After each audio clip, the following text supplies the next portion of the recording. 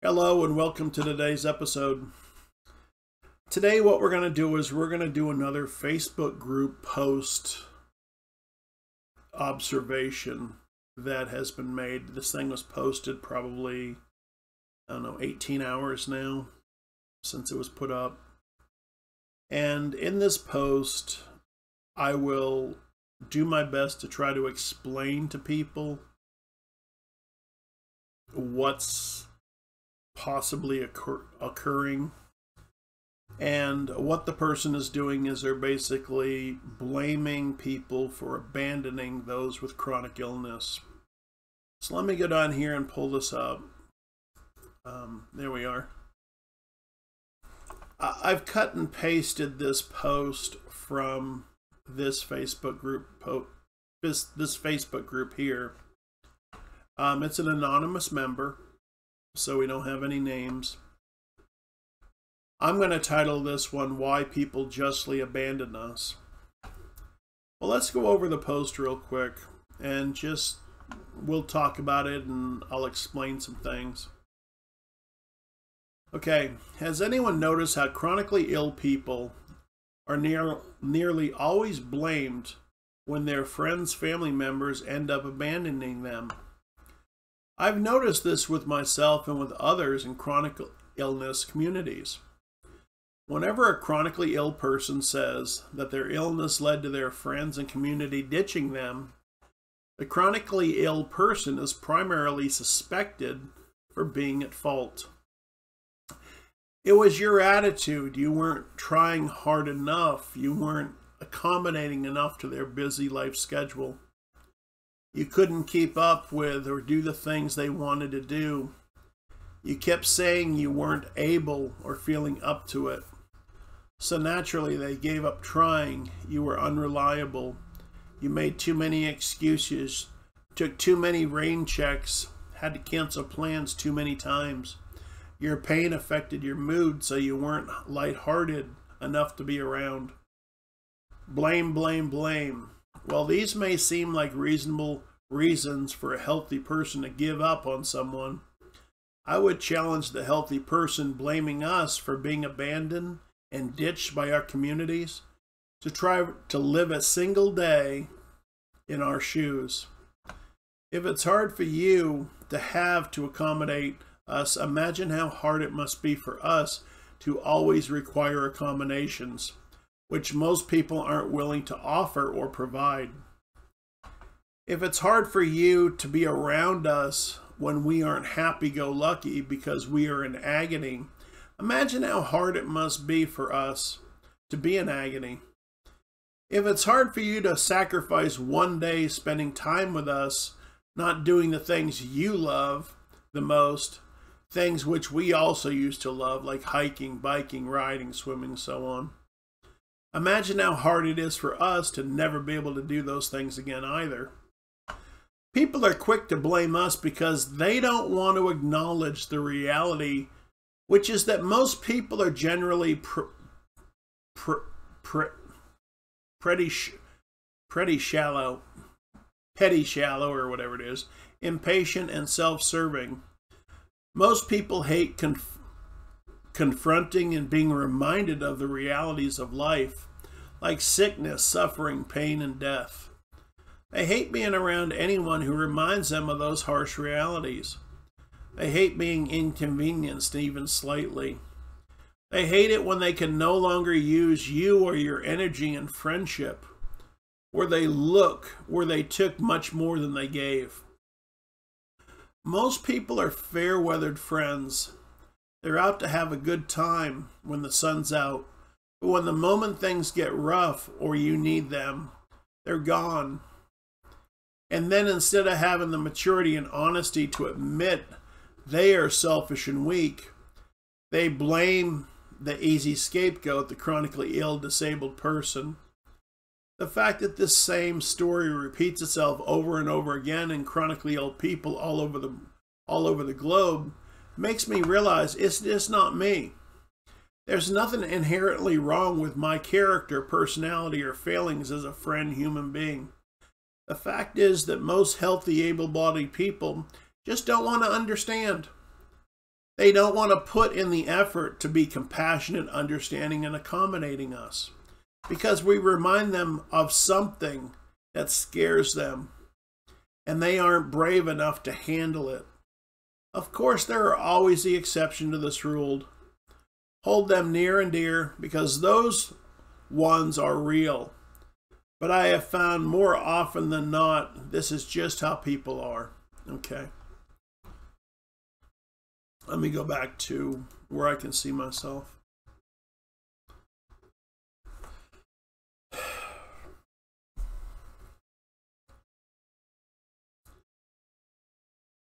You know, I've done previous videos on talking about the very real risk people with chronic illnesses face by being abandoned. And I, have talked at length about why people leave us. One of the things that you know, if you if you if you followed along with that, and I'll put a link on underneath the YouTube for you to click on it. Uh, the one thing that's consistent in what that person is saying, everything they're saying the other person's doing is in all likelihood the same thing that they themselves are doing in their situation.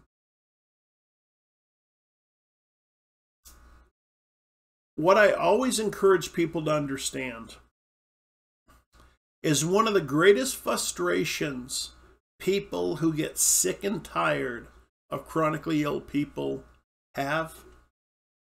People that abandon loved ones. It's because the chronically ill person was unwilling to do those things for themselves that they were actually capable of doing but it became easier to have other people do it for them. You know, having disabilities, being disabled, whether you're physically, mentally, whatever, how we approach it can be a real turnoff to a lot of people. It can be a tremendous grind that people struggle with. You know, a healthy person who loves you at some point, eh, you know, they may love you or whatever, but you're just not willing to do anything for yourself that you're still capable of doing. And it's just easier to ring a bell. It's easier to complain. It's easier to whine. It's easier to bitch. It's easier to moan. You know, you insist on people surrounding you that enable you. And realistic people just say, you know what, I'm out of here. I mean, this is ridiculous. I know so many people. I, I mean, we got, I got family like this. Yeah, they are by definition disabled. But they won't do anything for themselves they don't have to. I mean, if, if they need something done, they expect the world to do it for them. Even though it's fully something they are fully capable of doing. You know, but ironically, and this is what also loved ones, caregivers, you know, boyfriends, girlfriends start, they see that maybe the, the person with the chronic illness doesn't see. They can't do anything for themselves. But when it comes to getting their nails done, oh, they can always find the time to get that finished, get that figured out you know, they can't figure out how to do anything for themselves, but certain things they can always figure out. I'm always so fatigued, but I can go to the hairdresser. I'm so fatigued, but I can get my nails done. I'm so fatigued, but I can go to the vape shop. I'm so fatigued, but I can get a hold of my pot dealer. I'm so fatigued, I can't do anything for myself. But when it comes time to getting my medication refilled for pain meds, I can figure out how to make that happen. And this repeats itself. So when it comes time to for somebody who cares about you and you know you, you can do all those things without any hesitation but you can't get your own drink. You know, you need somebody to dump your urinal for you. I mean, they see you capable of doing more than you're willing to do for yourself. And it does, it becomes so friggin' frustrating to those people who are trying to help you. I know a lady, and I may have mentioned this before. Her whole life is about wine and pain pills. I mean, everything. And she's disabled. Now, she's disabled because, frankly, she made bad life choices. But she has her nails done. She gets her hair done. You know, she she does all this stuff, but she can't do anything for herself when it's not time for her to get her hair or nails done. You know, she goes through a what do they call those quart sized bottles of wine every day? I, I don't drink alcohol. I don't know. They're the larger bottle of wine, okay? And she's constantly just popping these pills and drinking the wine. And you talk to her on the phone, and she's just slurring her words. And it's like she's living off the system, she's living off other people. She's surrounding herself with people that'll only agree with her perception of how unfair life is. And when people like myself try to say something, she doesn't want to hear anything we have to say. And yet I'm a pretty good example of overcoming the challenges that a lot of us face. But because I don't approach it from a drunk, strung out, mental health excuse mindset, People like that don't want to hear it. They sure as hell don't want to see it. So when you see what this person wrote and you see how they say they've been abandoned, it's ironic. The very thing that this person is saying other people are doing to them is exactly the same thing that, most likely, they're doing to themselves. There's something else in this post that's very important, and I want to talk about that. And I'll do a whole nother video on this as well. One of the things, and I've showed this post and others like it to people with neurological issues such as Parkinson's, ALS, MS. You know, our condition is a brain injury. So we share many of the same challenges that Parkinson's, ALS, MS experiences. And one of the things that's very common is a person with these conditions really struggles to get thought to paper. You know, when we're writing or we're trying to write something, it's not a well written piece of artwork. I mean, it's it's pretty choppy. It, it's not smooth in many cases.